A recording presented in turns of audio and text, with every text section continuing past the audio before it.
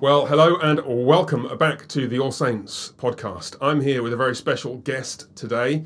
It is Pastor Randy Booth of Grace Covenant Church in Nacogdoches. Pastor Booth, thank you for joining us. Glad to be here. Uh, Pastor Booth is visiting us this weekend. We're recording this on uh, Friday afternoon. Pastor Booth is uh, leading a men's discipleship breakfast on the subject of masculinity, particularly directed at fathers. And then on Sunday, he's preaching from Malachi chapter 4, which raised an eyebrow or two in my mind as I was looking at it. That's going to be exciting. Looking forward to that.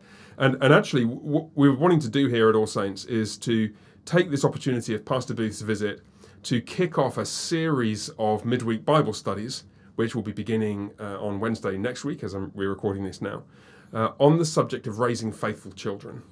So, really, what we're doing, we've got six weeks kicked off by Pastor Booth, uh, thinking about being fathers, being fathers and mothers, and engaging particularly in the task of raising godly kids.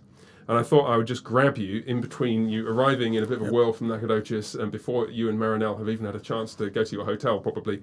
Um, and um, just to thank you for joining us. And I wanted to uh, get some thoughts from you just to lay the table for us. Before we jump in, um, I, I want to give people a chance to get to know you. Okay. So give us the two to three minute version of yourself, your All right. family, your wife, Marinelle, your church, and so on. Great. I grew up in Shreveport, Louisiana. Uh, faithful parents. My father just turned 92. My mom passed away last December at age 90. Uh, faithful Christians who raised us in the church, and I'm very grateful for that. And so have a great heritage behind me. My wife and I were born in the same hospital two months apart in Shreveport, met in high school, uh, began to see one another, married after our first year of college. We were 19 years old Wow. and we celebrate our 50th wedding anniversary this August the 9th. Hmm. So just in a few weeks. 50th. 50th wedding anniversary. We have three grown children, married, 18 grandchildren. I had the privilege of marrying my oldest granddaughter last July, and two weeks before that, my newest granddaughter was born on my birthday. So we've had we've had a lot of exciting things going on in terms of our our family, and uh, I've been pastoring. Uh, March was my 40th anniversary as a pastor. I've been in Nacogdoches for 24 years as of the end of this month, and so I have a lot of anniversaries going on, Yeah. and um, so been exciting to see, and I'm grateful to have all my children walking with the Lord and seeing them raise my grandchildren in the faith, and that's exciting to see as well. That's great. That's great. And um, uh, your wife, uh, Marinelle, uh, married 50 years. Yes. Uh, did you do anything special to celebrate your anniversary? Are we you did. doing anything special? Go we did. You know about this. We went to we went to Europe. We went to uh, London, Paris, uh, Glasgow, Edinburgh, Oban, Scotland. Spent two weeks. Walked 82 miles. I didn't know I could do that, but I had my Fitbit on and. We climbed a lot of hills and saw a lot of scenery. Went with some good friends, David and Nicole Alders, Great, great. and uh, ate at some great restaurants, Excellent. and uh, it was outstanding. Well, the reason I, I wanted to ask you that was really just to hear you say Edinburgh. Okay. Did you say Edinburgh? I think I said that. I'm Yeah, not sure. I, had well, I haven't thought about how I say it. Yeah, I'm so- pretty sure that neither of us will be understood by most Scotsmen. So I, don't think I didn't understand. Of all the places we were in, Scott, the Scott accent was the hardest to understand. Oh yeah, yeah, yeah. I needed a translator. Yeah, Scotsmen and women who move to somewhere like rural Mississippi would have quite a task on their hands. Yes, they think. um, so, uh, discipline. One of the things that is always in my mind when I think about this is that uh, discipline of children ought to be understood as, in the broadest sense, as cognate with discipleship. Yes, Um, perhaps it's right to uh, emphasize there is a, a, a negative aspect to it in the sense of correcting kids when they stray off the path. But really, what we're thinking about in the, in the broadest sense when we talk about raising faithful children and therefore disciplining children is discipling them. We want our Yes. kids to be disciples of Jesus, we want them to follow along the way. And uh, obviously, there's a great deal of uh, reflection in Christian literature and Christian wisdom on how to do that, how to correct them when they step off the path, how to encourage them along it, and so on. And maybe if we start off like this, you've got three kids, faithful, walking with the Lord. Um, what, what are the are there any big lessons that stand out to you that you've learned as a father uh, that you've had to pass on as a pastor that relate to this whole area of discipling and disciplining and raising faithful kids? I think one of the things I would point out is that this is an ever changing situation for parents. So you're obviously, if it's your first child and you're young, you're you're at one level. So God is also training you and disciplining, discipling you in this process. So every time you're teaching your children something, God's also teaching you. You're still His child. Then you get a second child, a third child. Their personalities are different, and circumstances are different in your family. Uh, so, and then as as each of your children go through different phases, I remember my father telling me, uh, "You're you've never been 14, and I've never been the father of a 14 year old." Hmm. Well, the, the next 14 year old comes along and he says, and I've never been the father of this 14 year old. Yeah. So, there's cultural circumstances that are changing, different temptations. I think there's a temptation to grow lax, perhaps, uh, grow weary in well doing if you've got a number of children. Hmm.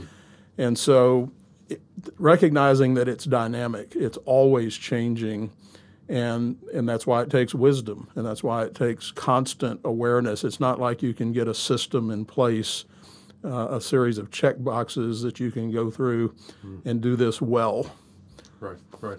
Cultural changes. Then let's focus in on that. Um, you must have seen some things in how many decades? I'm so old. I'm, I'm so old. We had eight track tapes when I started, and we went to cassettes and CDs, and yeah, now, now yeah. here we are at the internet and all kinds of things. That uh, yeah, well, I'm not that old, but I can still remember when um, uh, the uh, the pastor at the church that I was interning at in 2001 said, "I think what we should do with our sermons is put them on on the internet." Yes. And I thought that was a complete waste of time, right? Because I thought, well, I've got tapes. I listen to them in the in the car. That's right. Anyway, um, we, we digress. So so cultural changes then. Well, here's I think one thing that's important to remember. We we talk a lot about cultural changes, and we should. I think let's take the internet as an example or technology. These are megaphones. They magnify what has always been the case. Fundamentally, I'm not sure there's anything new. The, the temptations are the same. There may be more of them. It may be louder. Uh, so I'm not saying there are no differences, but fundamentally the issues are always the same. Human nature is the same. Temptation to various kinds of sins, whether it's entertainment or sexual things or uh, you know th- that range of temptation. We go to Genesis uh, and we say, you know, the thoughts of man's heart was only evil continually. Hmm. So that was true then, and it's true now. And these are the technology, just like the technology enables us to do what we're doing now with this podcast, it can also enable sinful things to be done bigger, right, faster, right. and so forth. So we certainly have to be aware of those additional uh, factors that make this bigger and, and more, um, more seductive, perhaps. But the problem of raising children hasn't really changed right, and is not right. going to change because we're really fundamentally dealing with hearts and right, minds and uh, so that's interesting because especially when you start to think about the impact of uh, modern social movements that have the effect sometimes of alienating parents from their children and making attempts by the parents to re-establish contact seem like part of the problem. This is something that arises in critical social justice ideology. Yes. When parents, uh, well, if, if children feel uh, alienated for whatever reasons, good or bad, or justified or unjustified, from their parents, the, the parents' attempts to say, listen, let's just sit down and talk about it, that is within a kind within a Foucauldian paradigm of there's no truth, there's only power. That's an attempt at manipulation. Right. So in a sense, that's new. But what you're saying is yeah, but the sinful tendencies that drive the the things that break relationship in the first place are the same things. Yes, we're dealing with the same kinds of right. So how would you f- flesh out those abiding issues then? If you say, okay, through all this swirling chaos of the modern world, where the same temptations take different forms. The same sins manifest themselves in different ways. How would you identify some of those abiding sins? The, the big the big ones to look out for, the big dangers, you think? to be aware Well. I like, in approaching this subject of child discipline, I like to boil it down to what I'd say are the most fundamental uh, issues to keep it simple for the for me uh, to know. All right, what is it I'm trying to do? To remember that. So, for example, in sc- Scripture, there's really only one command given to children with two parts: honor and obey your parents. So, respect. So if I if I remember that the fundamental thing that I want to teach my children in every situation is to respect God, to respect me as a parent and others, your siblings or whoever it is. That's your that's your one job as a child is to show respect. And for me to teach you to do that, as I always say, my goal is for you to be self-governed under God. Right. And, and if you won't govern yourself, I will. That's my job. And I want, I want to work myself out of a job. Right. And that, that speaks to the issue of stepping back when your kids grow up, isn't it? So the sooner, the sooner you can govern yourself, the less you'll have me telling you what to do. So that means I have to inculcate in their hearts and minds the things that I love and desire. So another issue, and I'm kind of moving in a little different direction, but I think about church discipline the same way. But if we go to uh, 2 Timothy 3:16, all scripture is given by inspiration of God and is profitable for four things: doctrine, reproof, correction, and instruction in righteousness. So doctrine is again back to child discipline. Most of what I do in discipline is teaching. Te- verbally, uh, training, demonstrating, showing what to do, what's expected, um, and doing that in a gracious way, in a in a joyful way that makes it attractive and not harsh. Uh, so it's always bathed in grace, but it's also has to be insistent and firm. But most of it is positive instruction. Uh, uh, uh, uh, doctrine reproof is when they don't do it, and now I have to correct you. And I want to use the least amount of correction that's necessary. Sometimes it's a look, sometimes it's a single word, stop. Sometimes it's more than that. So I like to think of discipline uh, in the sense of uh, uh, correction and uh, reproof and correction is something like a rheostat or a dimmer switch. I don't want to start with the harshest thing, I'm going to spank you or whatever. There- There's a place for that, but we don't begin with that. What's the least amount that will bring about the desired behavior and attitude? And then correction uh, is going to involve not just stop or you're wrong, but now I'm going to tell you what you did wrong. And as they get older, I think you want to solicit that from them. What did you do wrong? Because most of the time they know. And me just wagging my finger at them and telling them for the 50th time is not going to do it because now they just are looking aside and, you know, here we go again. But if I ask them, what did you do wrong?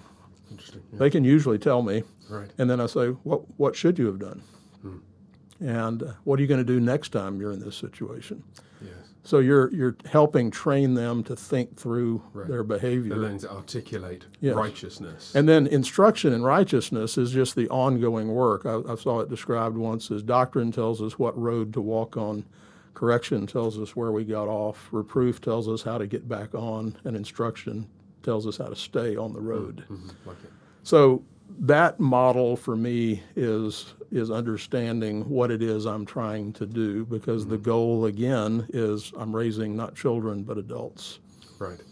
No, I really like that thought about that that you just finished with there, as well as the the overall picture makes such a lot of sense because, in in practical terms, Scripture does not speak about any of the social and ideological changes that we have seen in the last 2000 years Right. in explicit terms it, but it gives you this framework Yes. so it must be the case that it's possible to navigate that um, with wisdom using those scriptural tools. Uh, but it, it does it, it strikes me that um, the uh, the attentiveness to how those uh, particular needs are reflected in this particular situation is what's required of, of great parents. Right. Well, I think another key thing, if, if the goal, if the primary goal is to teach my children about respect for authority, respect for God, honor your father and your mother. Uh, so, from a child's perspective, father and mother are the same, same entity. One, we're one flesh as husband and wife, and we are one entity for children. And then from there, the implications are everybody else in your life. Uh, for, for children, most of them are inferiors to everybody. Uh, and they have siblings, so they may have equals, but essentially they still have an obligation to love their neighbor, love God, and love your neighbor. But if, if I'm going to teach my child to, to show respect, that means I have to know how to show respect to my children regardless of their age. Now, how I show that to a two-year-old is different than how I might show it to a 15-year-old. I'm not their buddy. I'm not. I'm not their equal. I'm still always their superior. But I, a superior still must show respect for those who are under their care, and by modeling that respect, not only in terms of my direct relationship with this child, but toward my wife, toward other relationships that they see me in as a father is critical for them to know what that looks like. Right, I'm not right. just telling them what to do, I'm showing them what that looks like, even when I'm correcting them for not being respectful. Right. And that con- connects with what you're saying about raising adults, not raising children. Yes. Uh, I wanted to probe that a little bit more because uh, one of the things I'm looking forward to developing in Wednesday night Bible studies in a couple of weeks' time is th- the insight that you get by by imagining yourself two or three or four steps down the road and and then looking back at the stage you're at now and letting those later stages or where you want to be in those later stages inform what you do now so how should you deal with this two year old Okay. well think of the 15 year old you want her to grow into Yes. and work backwards so i'd love to get your take on that Okay. to, to, to what extent is that helpful and, and what sort of insights would you glean from Yes, that I? I think that's very helpful. In fact, all, all human beings have strengths and weaknesses, and you see certain traits. We had a, a family over last night for the first time, and they had a, a three-year-old and a, a less than one year, a little over one-year-old, and you could already see certain traits in them. Uh, they were cute children and playful, but you could see one was much more active than the other, and that kind of thing.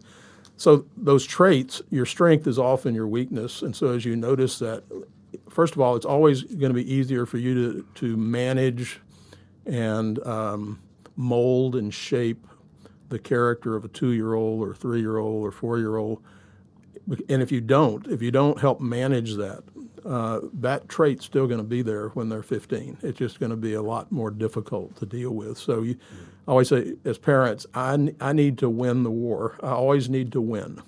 right. Uh, I like to tell this story about my three-year-old, my youngest daughter. One day I was home at lunch and I'd asked her to, I told her to pick up her toys, and she just stood there and looked at me. And uh, she was obstinate. She knew how to right. pick up toys. She'd done it many times this is not difficult. we were homeschooling, so her older brother and sister were in the other room. And this went on for about 10 minutes, and I was down on my knees, and I'd gotten my wooden spoon, was our weapon of choice. And I Not was, down on your knees pleading, I take it. Down on your knees. I was down on my knees, face, just looking at her, and yeah, I s you know, pick it up, and she just looking at me. Mm-hmm. And I'd swat her, and she'd cry, and I'd say, "All right, pick it up. We're not leaving. Daddy, you know, says to pick it up. You need to pick it up." So, her older sister walked by very quickly to get something out of the bedroom, and on the way back, uh, my older, her older sister, who was just two years older, stopped and looked at her and said, "Rachel, Daddy always wins." and she, Rachel reached down and picked it up and put it in the basket. It was over. Right, right. It was like, oh, okay, I needed somebody to remind me of that. Yeah, yeah. I think the other the other thing is uh, so I think it's good to think who do I want this person to be and how am I going to help shape them that way, and then also noticing those traits that you say we need to we need more of this and less of that, and I think that. Uh, Another thing that I think is helpful, and it fits in with this age bracket, uh, a lot of people who may be listening to this might be familiar with classical Christian education. And I wrote an article a few years ago called The Trivium in Biblical Perspective. So you take the uh, grammar, logic, and rhetoric phases. I think those match up very nicely with uh, knowledge, understanding, and wisdom Yeah, in the that. Bible. Yeah. So in the early years, it's a lot about knowledge. They're learning to talk. They're learning, don't touch this, do that, don't do this, and there's a lot more of I told uh, because Daddy said to. Why? Because I told you to. That's all you really need to do. Your your one job is to obey me. As they get older into that middle phase, understanding, they're supposed to be asking why. But you teach them how to ask why, and you explain it, and then sometimes they still don't understand it, and then you still say, because I said so. That's always fundamentally the same way God does with us. Right. You, you, I want you to understand it, but you don't wait to understand it to do it. And then, but the ultimate goal is that wisdom phase. You're out, you're 17 and you're on your own somewhere, and you're trying to decide should I do this or not do this. Now, all that you've learned in knowledge and understanding gets applied to a new situation, and that's where self government comes in, where wisdom is Yeah, the, like the, the goal. Yeah, your story reminds me of um, uh, something I witnessed, and this is always encouraging when you see this with a family at church. And um, Nicole and I went round for dinner with a, a, a young a, a young couple who've got got a child, and we were sitting at the table, and the the child was at the end of the table in her special little chair, and she had her food in front of her. She's quite a young child, like a couple of years old, and the food was basically the same as what the adults were eating, and she was sitting there waiting for her mother to tell her that she could eat it. And I just thought that that picture spoke a thousand words to me. I, I was so encouraged because I and I wanted to encourage the mum and dad, and I did. I, I said a couple of things to dad at church the next day and said, "Look, you, what you're doing is great because you're." put, it, put it differently now, but you, really what you're doing is you're placing before your child uh, a manifestation of the future that you want them to grow into, but it's embedded in present possibility. So they can learn to relate cheerfully and joyfully to other adults around a table. And the way they'll do it at the age of 19 months or whatever is by sitting and waiting, Right. not by having special allowances made for them because they're little. And often I think we underestimate Yes. what kids are capable of. And you find that eventually you've got the four-year-old who won't go to sleep unless mum's lying in the bed with him, and you just think, "Jeepers, well, you've, you, you're you're actually going backwards. You're creating. Problems. You get more of what you pay for. Yeah, yeah. You, you you're you're subsidising That's right. the the the problems that really you should be trying to grow out of, and your kid is capable of growing out of those if you'll just show them the way. Well, understand the fundamental problem with all of us is we're selfish. Two two year olds in a room with one toy is my definition of immaturity. Christ, of course, is our definition of maturity, laid down his life for his friends. So self sacrifice for others. So, yes, child, you're important in this family, but you are not all important. right. And a large part of what we're training in our children is the world does not revolve around you. Mm-hmm. Now, you get many things you want and desire, and you're part of this. You get the blessings, but you only get the blessings when you also make the loving sacrifices. And so we're building in our homes a communion of, of love. And everything we do should be contributing to that. And so when anybody, the two year old or the dad, acts selfish, it tears the whole system apart. right. Right. There's two other areas I would really want to emphasize and mention, and uh, and they're kind of opposites. So let me start. I want to get to indulgence of children in a minute, but holy insistence is a term that I've kind of coined. So I see soft parenting sometimes. Um, I'm going to be speaking to fathers this weekend, so I'll emphasize that it can be with fathers or mothers. That that very we want to be their buddies, and we're kind of oh come on honey, sweetie, let's please do this, and we're kind of begging our children to be obedient and and soft, and when they're not obedient, then we get up and do it for them, Uh, or uh, that kind of thing, where we really don't. We, we want to make sure they don't get in any kind of Yeah. Come along, sweet little one. Yes. And so holy, and but but also their parents on the other side are too harsh. They're mm-hmm. angry. This is irritating them. You're you're making my life hard, and I'm angry and, and ticked off, and I'm going to now pour that out on you. And, and so holy insistence is the, the sweet spot where it's, mm-hmm. it's holy because it's sanctified, it's godly, it keeps in mind that I'm here to love this child and bring them into conformity to, to the Lord. And I want to do that in, in a way that is insistent. That is, I'm not looking the other way. I'm not making excuses for their bad behavior. Yeah. Whom the Lord loves, he chastens. Right. And I love my child, and I will chasten my child when they need that.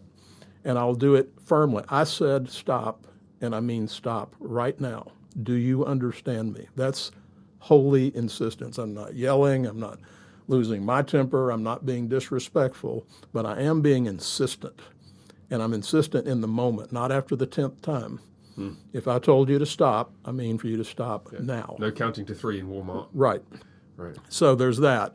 The, the opposite of this is the indulgent parent. I, I saw uh, this one stuck in my mind for years. We were had some a, couple old, over. They have three kids. Two of them were teenage boys. They were playing basketball. They had a 12 year old daughter, and we were going to be driving about five miles away and coming back.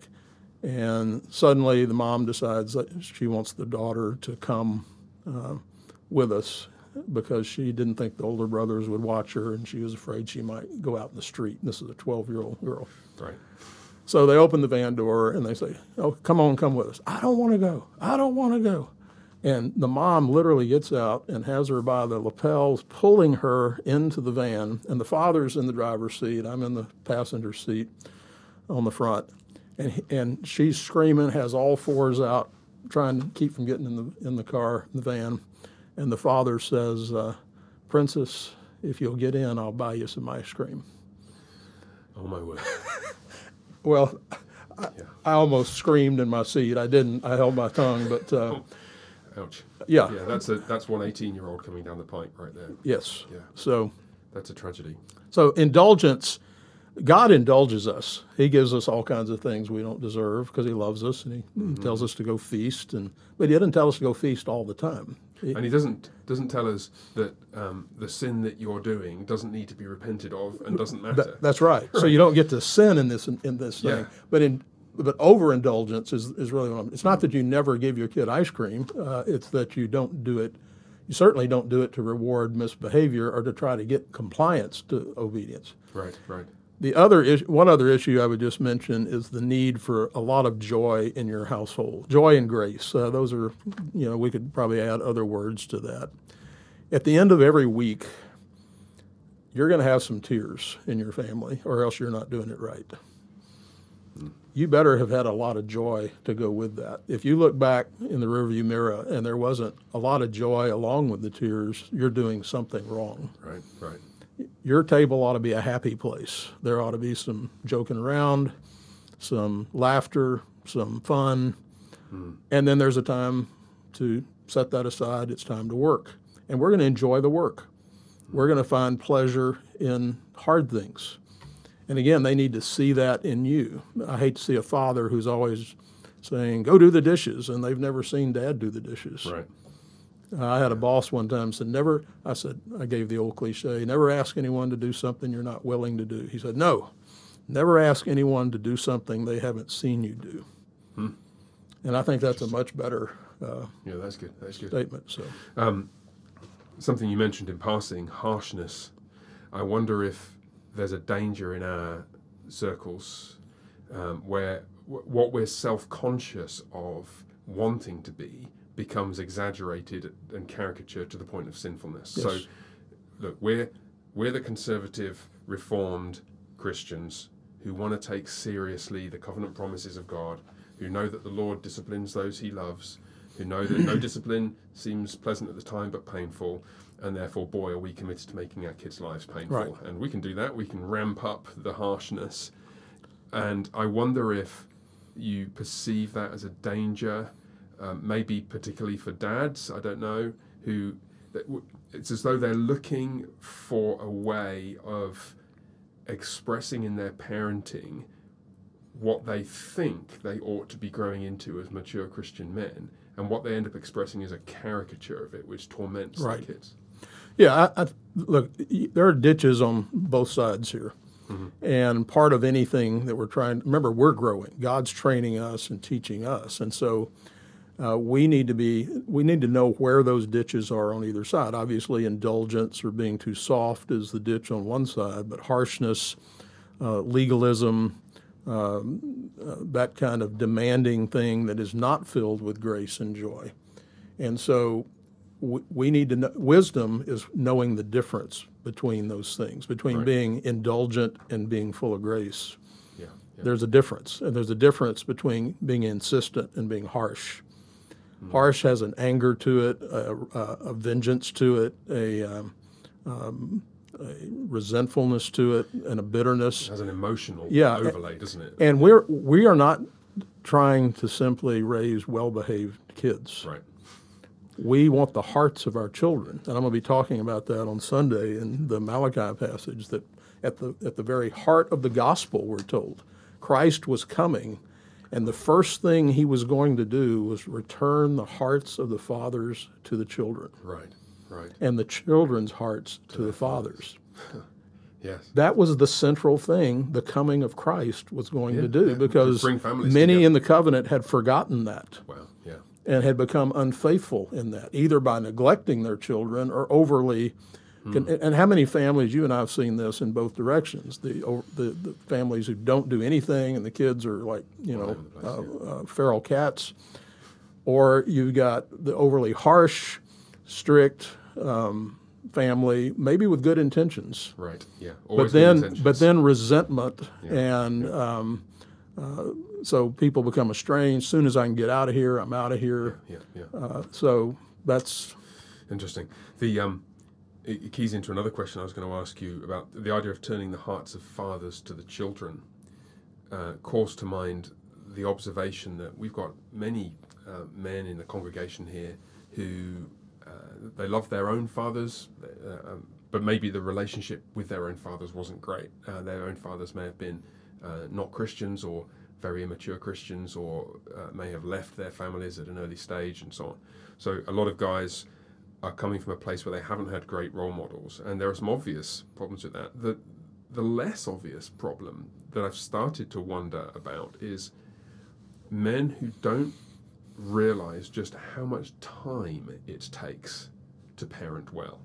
Like you, you can't do this with just a couple of minutes of brief exchanges of how's how's your day to your wife at the Yes. end of the day. There is a huge investment of time in training your child. Like if your if your kid who's two won't sit still in worship, what that means is you have 10 or 20 hours of work to do over probably four to six weeks of sitting down with them and joyfully when they're in a not Yes, tired in a, in a good exactly. place to train them to learn to stand sit kneel and you extend the time gradually and you you but you can't do it kind of in and among all the other right. things you do It has to be intentional. right You have to have a plan. You have to be part of what you're doing as a father, as as a husband of the vineyard, uh, is you're looking to see where there's cracks in the wall and weeds in the garden and all those things that you're attending to.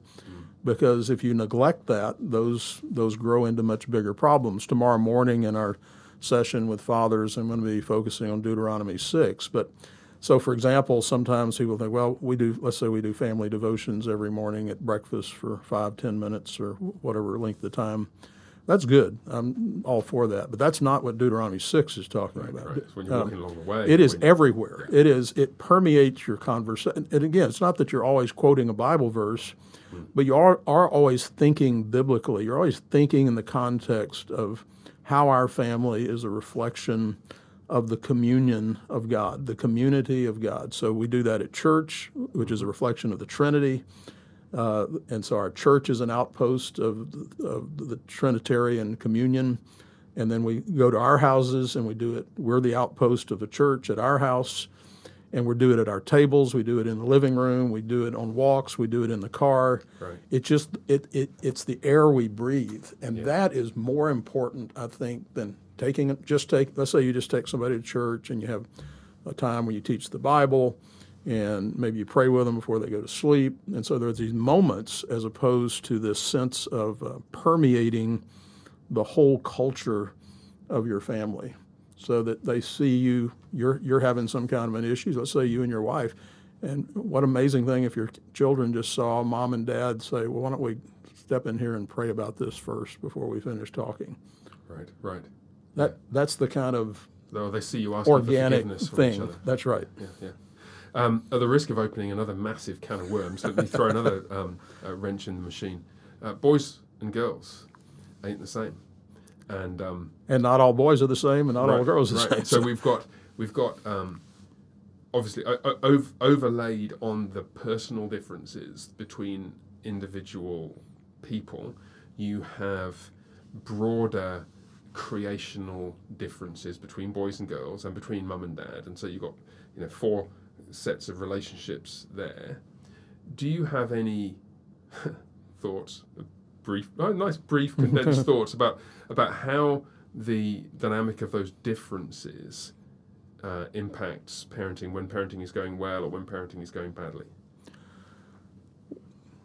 I, I, I have to think a bit about how to narrow that down. I'd say, first of all, I, I, I want to resist anything that is artificial in terms of, okay, this is men's work and this is women's work. I think there are divisions, certainly different differences in masculinity and femininity, both in terms of how we dress, how we comport ourselves, how we interact with people. And then obviously there are different temperaments and personalities, outgoing and quiet, and all those things that are, all those are factors in us knowing how to shepherd, and that is the work of a father, shepherding his children uh, and caring for them and meeting individual needs uh, accordingly. But then recognizing that the differences between boys and girls, men and women, is not just the obvious uh, uh physiological differences in them, but everything in a woman is female and everything in a man is male, down to our DNA. And so uh, we're preparing them for different kinds of labor and work, again, full of joy, full of purpose. Um, I want to raise women, uh, raise girls that become women who men respect. Hmm. And that means they have to know how to respect themselves, how to respect their parents, and how to be intelligent. I say all the great men I know look up to their wives. Yeah. Okay, I look up to mine and, it, and, and yet, my wife also knows, and we know what our biblical callings are in our positions as mm-hmm. husbands, wives, fathers, and mothers. But that's not as persons. My wife is smarter than me, more talented than me in all kinds of things, and I'm thankful for that. God knew I needed that. That's it's a gift to me, and hopefully, likewise, I'm a gift to her. And together, we're stronger mm. as one working together. And again, from the children's perspective, mom and dad are one. Well, I want to raise daughters in light of that. I want them to, I, I want them to marry someone that they respect as much as they respect me. Right. That's interesting. And so teaching. Which means you need to be worthy of respect. Uh, that's right. right. And yeah. so girls who don't respect their fathers are boy crazy. Right. They, so they need male they, they're looking they're they have father hunger. They're looking right. for and, and, the problem is, teenage boys only know how to give one kind of affection, and it's not father affection, mm-hmm. even the best of boys. Yeah, yeah. And I want to raise men who respect women. Mm-hmm. And so uh, we've got a world full of young adults who, who women who don't respect men and again, a lot of times because of poor yes. fathering, yeah. and a lot of young men who don't respect women for similar reasons. Women are objects. Women are things to to do things for them, as opposed to laying their lives down for them. Mm. And so I think you start if you have brothers and sisters. That's a great place to start. You don't talk to your sister that way. You don't treat her. You know, you and your brother can lay on the floor and wrestle, but you can't you can't do your sister that way. So there every family is going to be a little different too. I don't. I'm not for cookie cutter. The basic biblical principles have to be in place, but you may do it a little different than we do it. Uh, that's okay. It's like meals and all kinds of other bedtimes and lots of other things that can vary. So yes, interesting. The, the, the dynamic between brothers and sisters that you hinted at there, it, it, it struck me uh, before I moved to the US. I'm pastoring in London, England and there's some great families in the church, and and it, it started to strike me that the the boys, even at a young age, six, seven, eight, nine years old, who had sisters, the way they were treating their sisters was training them to know what kind of treatment counted as good treatment. Yes. Right. So, put it put it most bluntly, um, a a, a, boy who honours and respects his sister in all manner of different things, from not, not wrestling on the lounge floor with her, and, and but honouring her and speaking to her in certain ways, will will train her so that if she encounters some guy in her teenage years who doesn't treat her with appropriate respect, she'll just think, "Who's this?" Right. Right. Nobody speaks to. her. It's not attractive to her. Exactly. What she's used to, she's used to being honoured by boys, Exactly. as well as being honoured by her father. And there may be cultural differences, you know, how you do, it in your family or even in, in London versus Texas. Uh, there, there- so we may open the door for a lady or pull the chair out or wait till they're seated. There's all kinds of ways that might be done differently from locale to locale, but these are symbols of respect and honor. And again, we're back to what is the fundamental thing both children need to learn is to show respect Yes. to other human to love God and love your neighbor to Right. love to to submit to authority. Right. You know, Pastor Booth, I think um, we should probably get you up here more often. um, I, all of the things that you've talked about, all the things you've raised, I mean, it, it, it um, uh, I'd like to chase each of them down a half-hour rabbit hole, but um, your time is is precious and short, and um, uh, this podcast shouldn't go on forever. Okay. Um, uh, just a, a quick heads up again, for the sake of folks at All Saints, um, uh, we'll package this uh, media, Lord willing, in a way that makes it easier to consume if you're not able to make all these sessions. And but um, there's men's discipleship breakfast uh, tomorrow, as we're talking today. But by the time you uh, hear this, it's going to be in the past. So there should be, Lord willing, a recording of that. You got this, you got that. Uh, Pastor Booth speaking, preaching on Sunday on Malachi four, and then Pastor Shaw and I are going to be leading midweek through six sessions, just trying to explore this whole uh, issue of raising uh, faithful children. That's going to be the title of the series, and I particularly liked the point you made a few minutes ago. We're not trying to raise kids who just do what they're told. We're not looking for compliance. Uh, in the end, maybe you look for compliance from a six-month-old, but in the end, what you want to do is to raise somebody who loves the Lord, who who is a faithful child, uh, and therefore a faithful adult. And you get to that wonderful, and this is a point now for parents, that painful moment where you start to see them spread their wings and flourish Yes. as adults because they move on. Um, maybe that's next down the road for us as we yeah I need a session on teenagers and all that. Session teenagers. By the way, if I could just put a little plug in on our Mm. church website, uh, which is gcov, gcov.org, Mm-hmm. under under sermons and lessons, I have two series on child training. I think one of them has 14 lessons, and the other one has 27 that goes into teenage years. And so, if somebody wanted some additional materials, Mm. uh, you can. I think one of them is called Foundations of Child Training, and the other one is uh, just child rearing. That's wonderful. But- well, I remember we, we were in touch with that a, f- a month or two ago, and I had in mind to link to that from our church website. Okay. So, so um, uh, Lord willing, in the next week or so, you should be able to find that on the All Saints website, Great. allsaintskirk.com slash media. There's a bunch of stuff there. Uh, Pastor Booth, I'm not going to take up any more of your time, except to say thank you for Thank joining you. us. Thanks for joining the podcast, and we're looking forward to hearing from you tomorrow, Saturday, Sunday.